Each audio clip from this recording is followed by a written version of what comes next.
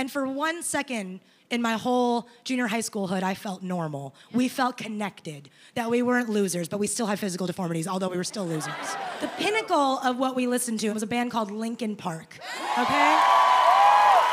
Thank you. Linkin Park, it was kind of a post-pop alternative punk rap metal, uh, just just great. The lead singer was this guy named Chester, okay?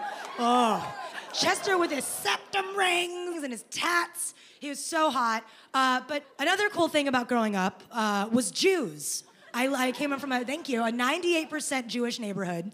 So there was one year where we just kind of went on like a bar mitzvah tour of the world, you know.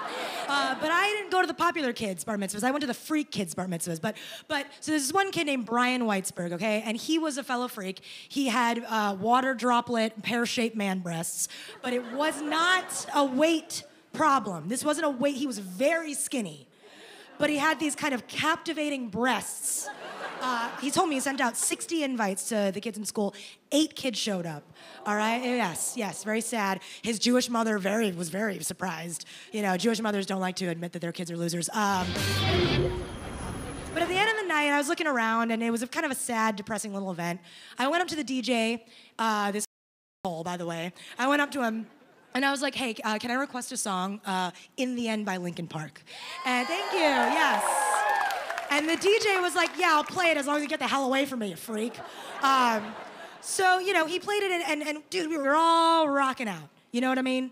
Um, and for one second in my whole junior high school hood, I felt normal. We felt connected, that we weren't losers, but we still had physical deformities, although we were still losers.